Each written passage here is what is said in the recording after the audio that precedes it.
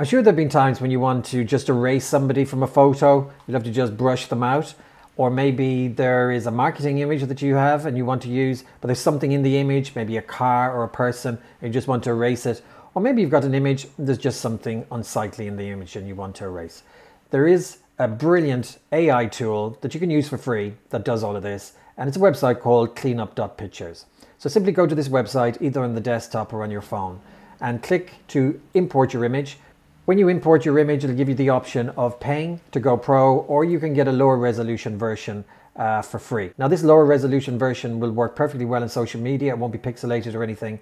And if you hang around until the end of the video, I'll show you a brilliant free tool that you can use to upscale it uh, to a very high resolution image. Once your image is in, simply use the brush to brush out whatever it is you want to erase. And then once you let go of the brush using your mouse, it will erase it.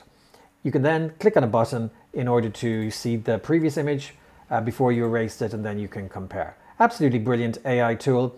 All you got to do is download your image there and now it's on your device.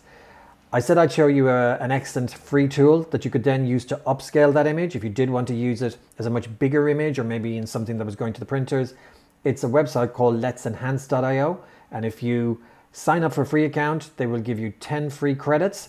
And if you want to see how to use that tool, just click the video here and I'll show you exactly how to use it.